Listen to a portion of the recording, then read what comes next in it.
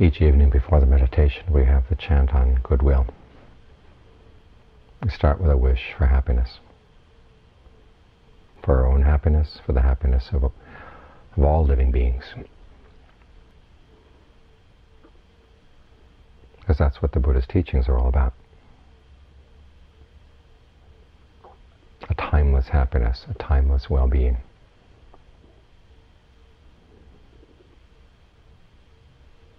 So it's interesting that when the Buddha started teaching, he started with the question of suffering.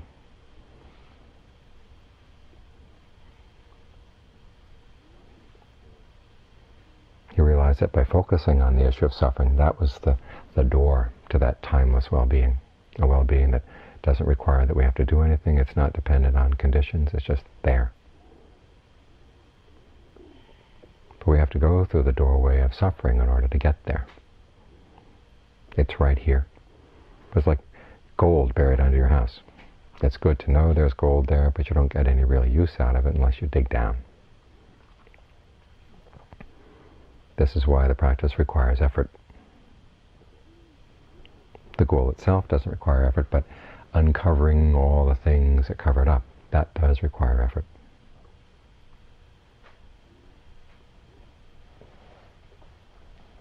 But it's not always a heavy effort.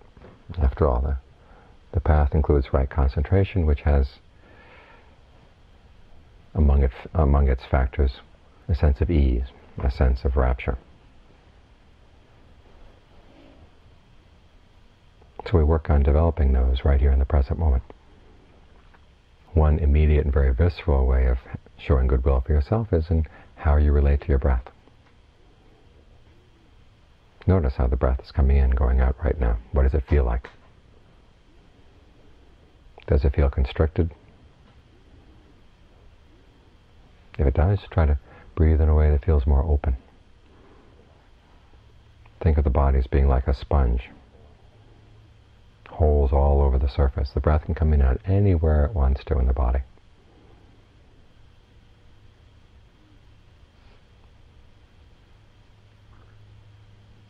when you keep that image in mind, you find that it changes the way you breathe. Instead of having to pull the breath in through some very thick membrane or requiring a lot of effort, you realize that it's a very easy thing to breathe. Your perception of what was getting in the way was what was actually getting in the way. The perception itself was the obstacle. So you change it, replace it with another perception. Body's like a big sponge or like a big sieve.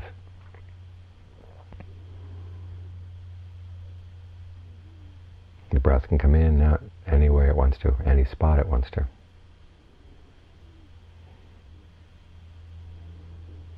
And come in and out your feet, come in and out your legs, any part of your body.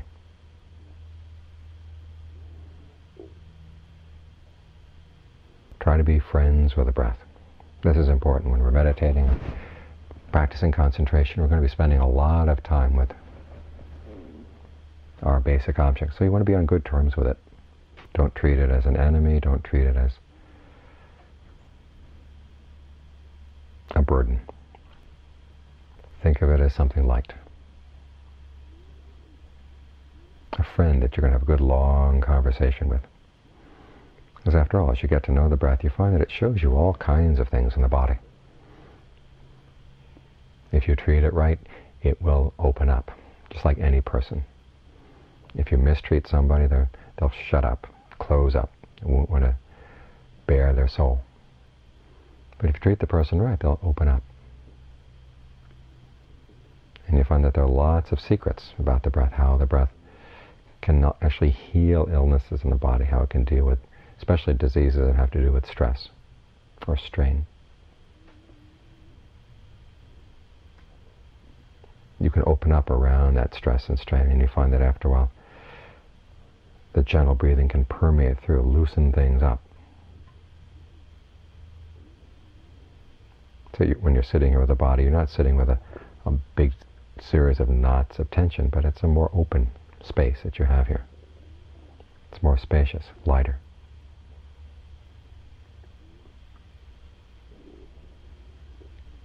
And then just maintain that perception. As the Buddha said, states of concentration are called perception attainments. In other words, you apply a label, whatever the label may be that you find easy to stay with. It helps engender good sensations, comfortable sensations in the present moment, and then learn how to stay with that, stay, stay in tune with that.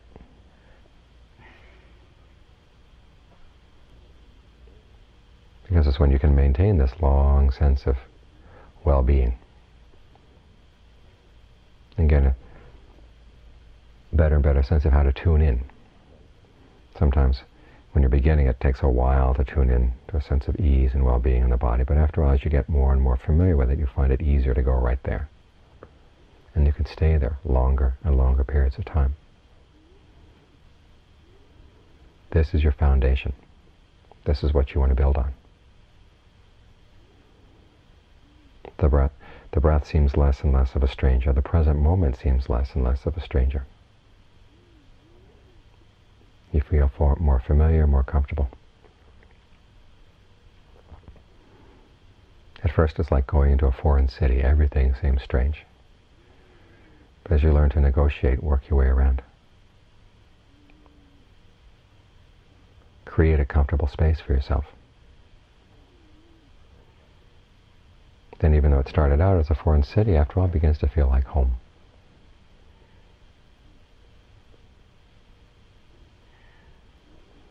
And once it feels like home, then you can really start understanding it. Understanding what's going on here in the present moment, because there is so much going on in the present. As the Buddha said, intentions keep occurring over and over and over again, right here in the present moment, and they're the main factor that shapes our experience. And for most of us, they lie buried underground. The major force that shapes our lives, and we're out of touch with it. So as things soften up, as they open up here in the present moment, that's what you want to look for. Look for that element of intention as it moves out, moves around. Choosing this, choosing that, emphasizing this, neglecting that.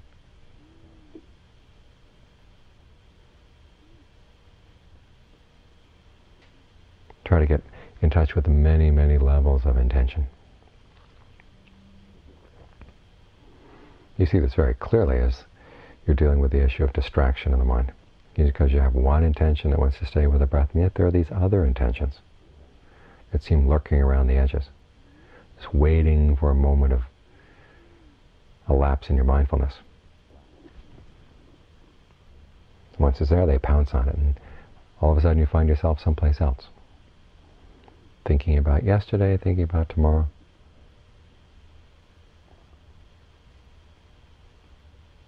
And the question is, when did the intention to think about those other things come in?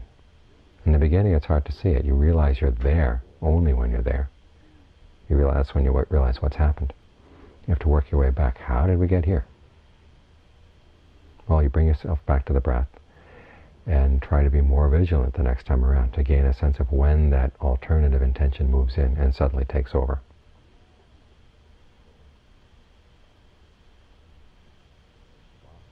This is you realize that there are lots of different intentions in the mind, and they play games with one another. Especially the intentions that you know that are not really in your best interest. They have ways of hiding, ways of putting up disguises. And the problem is we play along with them. And one of the main lessons we have to learn through the meditation is how to stop playing along. Many people have noticed when they go to Asia, the great meditation teachers are the ones who don't play along with normal games. The games that people play. It's because they've learned not to play along with the games in their own minds.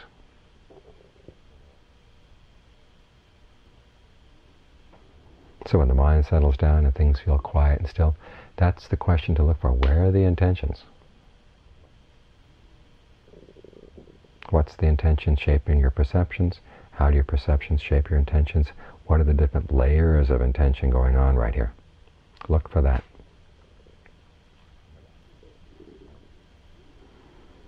And if the issue seems muddled, we'll go back to your breath.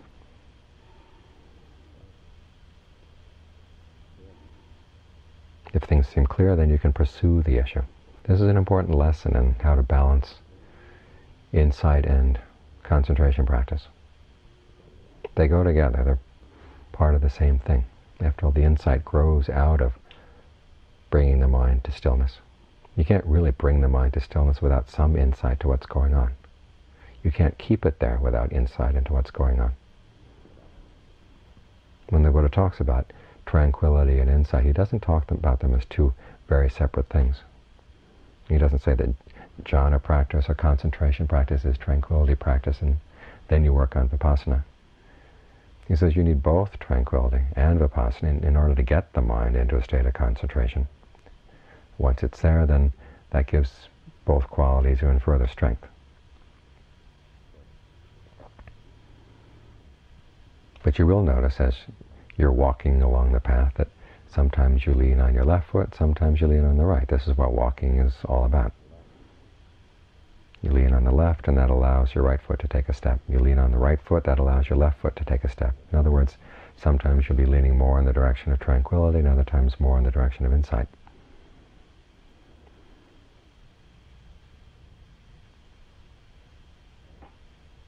And the skill lies in learning which side to emphasize. One very basic way of testing for it is if you come across a question, say about the intentions of the mind or the movements of the mind, is if you find that by pursuing the question things get clearer, then you can pursue it. It's time for insight. If, however, things get muddled, it's time to back up and just try to be still. This works on every level of the practice because the strength of discernment requires strength of concentration. The more refined your concentration, the more solid your concentration, then the more precise your discernment can be. It's like conducting a scientific experiment. If you place the, the equipment that you're going to use to measure things on a wobbly table, well, you're going to get wobbly results. You may get a general sense of how things measure up. But if you want to be really precise, the table has to be very solid.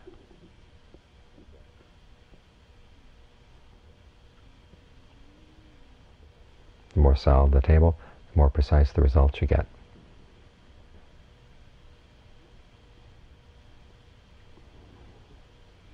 So as you're working on the on the mind here right now, don't ask, well, how how long do I have to do concentration practice before insight comes? If you find an issue comes up, your immediate reaction should be how to keep the mind still in spite of the issue. If the issue keeps coming back again and again and again, disturbing your concentration and not allowing you to settle down, that's when you have to turn and look at the issue. Deal with it as you can.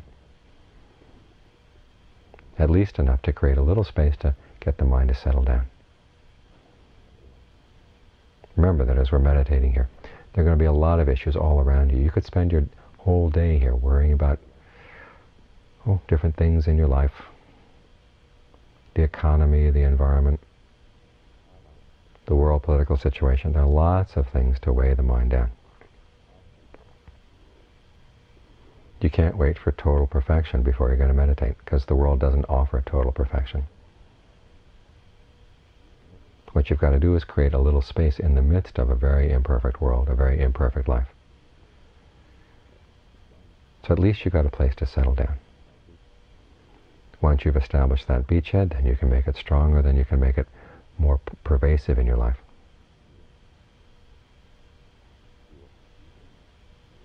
Which you will find involves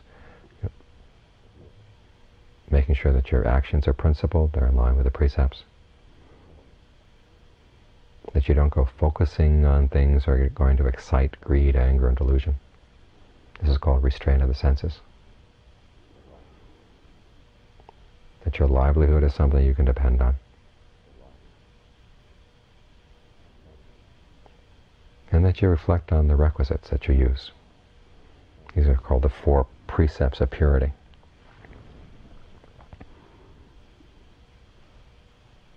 They create a larger space in your life, so it's easier for the mind to settle down.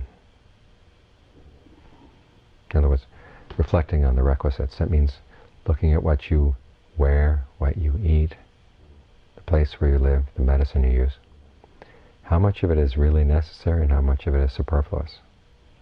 The more you can cut back, the more you can simplify in this area, the, the more space you'll have to meditate. At the same time, you can use the fact that the, the body's existence depends on these requisites as motivation to meditate even more because you realize that no matter what you do in terms of your diet, how you use the other requisites, somebody's got to suffer someplace. They're suffering in getting food, they're suffering in raising food, they're suffering in being food that's being raised. If you're an animal.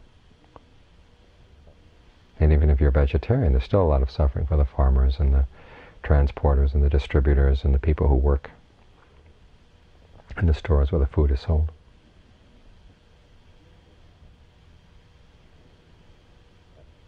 This reminds you that that true happiness you're looking for, that we're working for here. You want a happiness that doesn't take anything away from anyone else. Doesn't create a burden for anyone else. As long as you haven't reached there, there's still work to be done.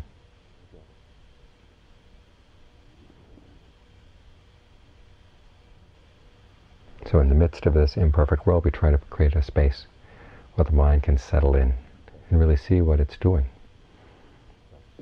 How its attachments are causing suffering, both for itself and for others. And where to look for that timeless sense of well-being. How to use your discernment, how to use your powers of concentration to keep digging down till you finally find what's buried right here in the present moment.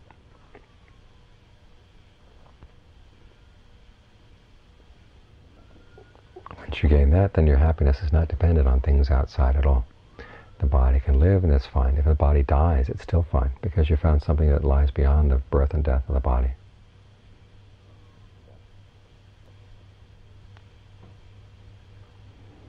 And it's in that way that you show true goodwill for yourself and goodwill for all beings.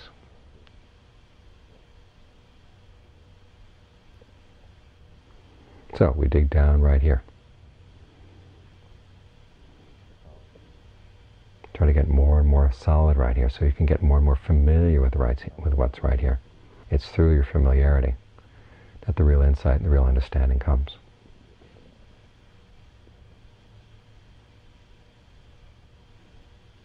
They talk about awakening or enlightenment being about intimacy with all things.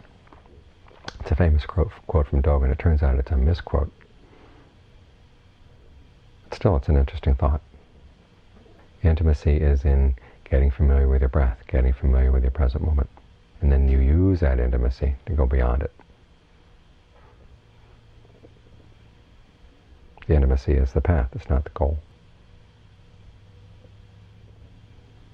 But you have to get very intimate with the present moment to really understand it, to work your way through all those layers of intention that hide the real gold that's right here.